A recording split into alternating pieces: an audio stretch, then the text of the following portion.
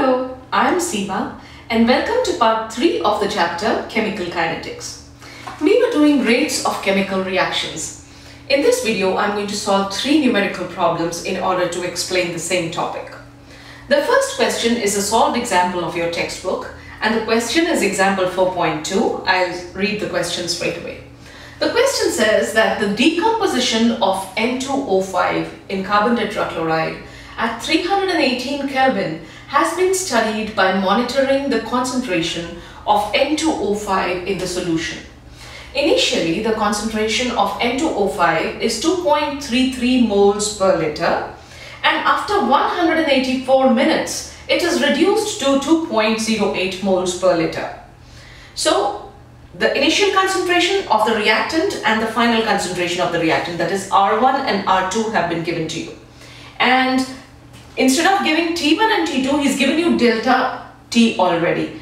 The duration has been given to you. Initial time and final time was not given. Rather, delta T is what you would have calculated even if you had initial time and final time is given to you in order to calculate the rate.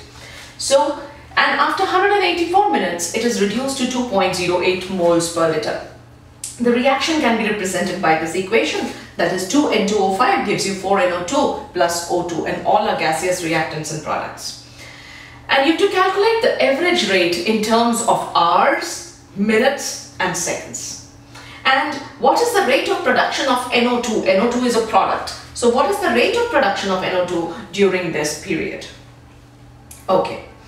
Now what have we been given? Let me write that again first.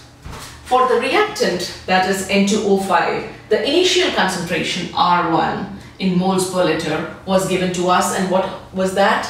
Uh, the concentration of is initially the concentration was 2.33 moles per liter is molarity M. And R2 is also given which is equal to it is reduced to 2.08 moles per liter M capital M and delta T is given to us which is uh, 184 minutes okay so you're supposed to calculate the rate in terms of minutes, in terms of seconds and in terms of hours. So if it is 184 in minutes, how many hours would it be? In hours, what would delta T be? Delta T, 184 minutes divided by 60. If you divide uh, the minutes by 60, you'll get hours. So 184 upon 60 will give you hours and seconds delta t in seconds would be equal to 184 minutes into 60 seconds will give you the delta t in seconds. So using the appropriate uh, value, you will now calculate the value of average reaction rate. So rate average or average rate would be equal to, what is it equal to? It is, we are talking in terms of N2O5. So N2O5 is the reactant. So it will be minus, since it is reactant, it will be minus. The stoichiometric coefficient is 2, therefore it will be 1 upon 2. And the change in concentration delta N2O5 or delta R, delta R upon delta T, right? And this would be equal to minus of half delta, how would you calculate delta R? delta R would be equal to R2 minus R1 and upon delta T. Right? So the first time we are calculating in minutes. So we'll use this. So this would be equal to, what would be the difference? R2 is 2.08. So rate, average rate would be equal to, or average rate would be equal to 2.08, right, sorry, minus of 2.08 minus 2.33 upon delta T is 184 and this is the units would be in moles molarity moles per liter per minute right because the, the unit of time is in minutes when you solve this what is the value that you will get when you solve this you will get um, 6.79 into 10 to the power minus 4. 6.79 into 10 to the power minus 4 moles per minute. Moles, uh, sorry, moles per liter per minute. So moles per liter per minute. And if you want it in uh, in hours, if you want this in hours, what will you do? Average rate in terms of hours. To convert it into hours, you have to divide the delta t by 60. In order to divide the delta t by 60, what you have to do here? Average rate in hours. So this would be equal to, again, uh, 2.08 minus 2.33 it remains a negative value this will be minus. Therefore on the whole this will become positive. So since 2.08 is smaller than 2.33, you will get a negative value here and the negative outside will ultimately give you the rate which is positive. And that was the reason why we put a negative value when we are calculating the average rate or instantaneous rate in terms of a reactant. So this would be this upon 184 into 60 because we are dividing 184 by 60 and now you will get moles per liter per hour. Right? And when you solve this you'll get the answer in hours which will be equal to in hours this will be 4.07 into 10 to the power minus 2 4.07 into 10 to the power minus 2 mole per liter can be written as uh, capital M also per hour. And now average rate in terms of in terms of seconds. If you want it in seconds what will you do? You can you will multiply this by 60 so either you multiply this whole thing and then solve it or you just take this value and make the change. So 6.79 into 10 to the power minus 4 moles per minute was there. And you will you have to multiply the denominator. Delta t was in the denominator. You have to multiply that by 60 so you just divide this by 60 and you'll get the answer in moles per second molarity per second. And when you solve this this will be equal to 1.13 into 10 to the power minus 5 1.13 into 10 to the power minus 5 mole per liter i'm uh, changing the units on purpose for you to understand capital M is moles per liter. You can also write it as moles per liter. So mole per liter per second. So you have, this was, you to calculate the average rate in terms of hours, minutes and seconds. You've done that. And the next part says that what is the rate of production of NO2 during this period? In 184 minutes, what was the rate of production of NO2? If now, when you calculate the rate, it is for one mole of everything. That is why we divided it by the stoichiometric coefficient. So, if you talk of rate in terms of NO2, what would be the formula for that? The concentration, if I had to talk in terms of NO2, in terms of the concentration of NO2, and NO2 is a product. So rate in terms of NO2 would, or the average rate in terms of NO2 would be equal to delta, the change in concentration of NO 2 divided by, of course, 4. Why? Because the stoichiometric coefficient is 4 upon delta t. But we know the rate is always the same whether you calculate it in terms of products or any reactant the rate of the reaction will be the same. So rate we have already calculated in terms of minutes how much was it 6.79 into 10 to the power minus 4 molarity per minute right this was the rate of the reaction and the rate in terms of NO2 should also be this. So if the rate of the reaction is this, for NO2, the concentration of NO2 has been divided by 4 because we had to divide it by the stoichiometric coefficient in order to uh, make it for 1 mole. Actually, NO2 is being produced 4 times of the rate because for every uh, for one mole, a molar equation you would say, for one mole of oxygen, 4 moles of NO2 is being produced. So if you talk of rate in terms of this, how would you calculate the amount that is being produced? So what is the rate of production? The rate of production will be, will be 4 times this. The concentration of this will be 4 times the rate. 4 times the rate will give you the rate of production of NO2. NO2 upon delta T is rate of production of NO2 and that will be, and the rate of the reaction is 1 upon 4, so it will be 4 into rate of reaction. So which will be equal to 6.79 into 10 to the power minus 4 moles per liter, mole per liter per minute into, oh, into 4. And when you solve this, this will come out to be how much? This would be 2.72 into 10 to the power minus 3.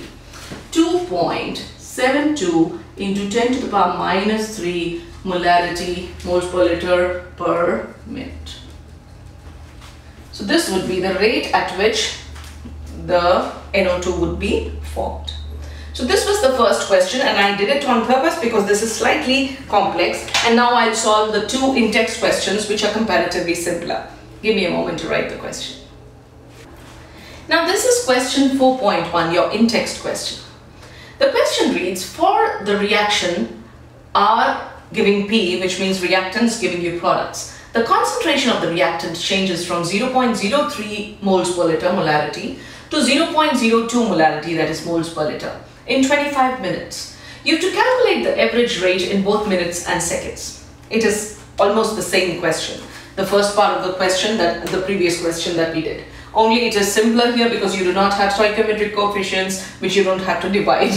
So let us uh, see what all is given to us. The concentration, initial and final concentration of the reactants are given and delta T is given to us. So let's say R1, concentration of R1 uh, changes from 0.03 moles per liter molarity and R2 given to us is equal to 0.02 moles per liter and delta T is given to us which is uh, 25 minutes.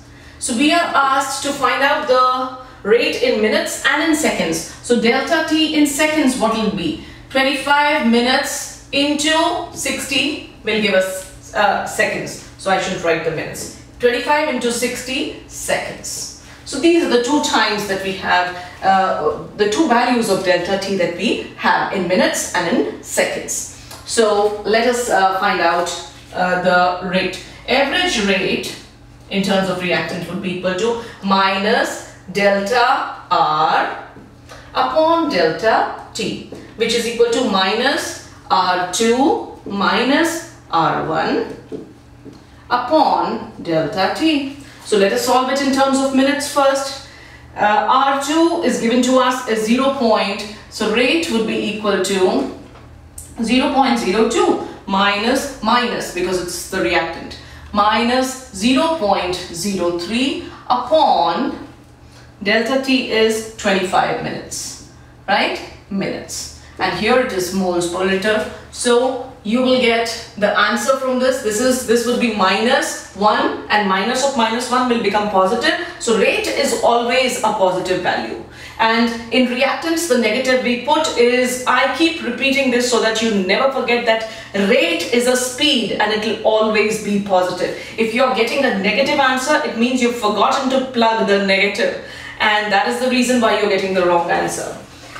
So uh, in minutes now, this would be 0 minus 0 0.01 upon minus of minus 0.01 upon 25. This would become, which becomes a positive value, which would be equal to uh, 4 into 10 to the power 4 into 10 to the power minus 4 molarity per minute because we are calculating in minutes.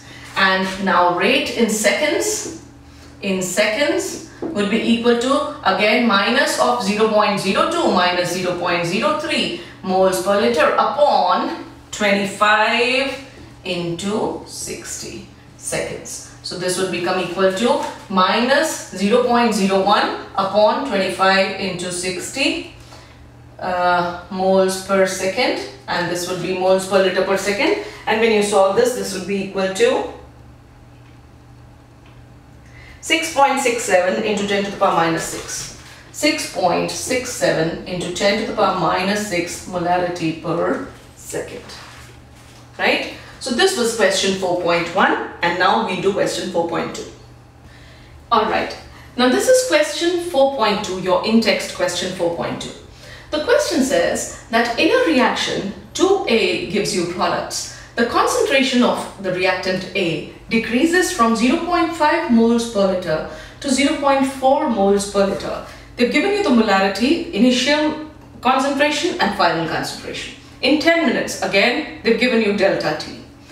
You have to calculate the rate during this interval, the simplest of all the problems. So you have to find out rate. Rate would be equal to, in order to find minus of half divide by the stoichiometric coefficient, A concentration of A, final concentration minus initial concentration of A upon delta T. Now this would be equal to minus half and A2, what is the final concentration? 0.4 minus 0.5 moles per liter or you could write capital M for this upon delta T is given in minutes that is upon 10 and therefore you write this as minutes per minutes right? And when you solve this this would be equal to minus of half into 0.4 minus 0.5 will be minus 0.1 upon 10 and moles per minute. And when you solve this this would be equal to so you're dividing 0.1 by 20 this would be equal to 0.005 moles per liter. I'm now writing the units as they are given here although it would have meant the same thing. Per liter, per minute or m per minute, right?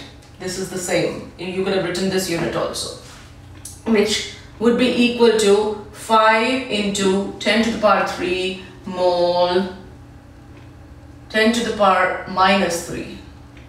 5 into 10 to the power minus 3 mole per liter per minute, right? So that is the rate during this interval.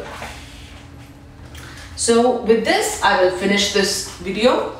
If you found it helpful, please give it a thumbs up, subscribe to my channel, recommend it to your friends, and please keep returning for more videos in chemistry. Thank you for watching and bye-bye for now.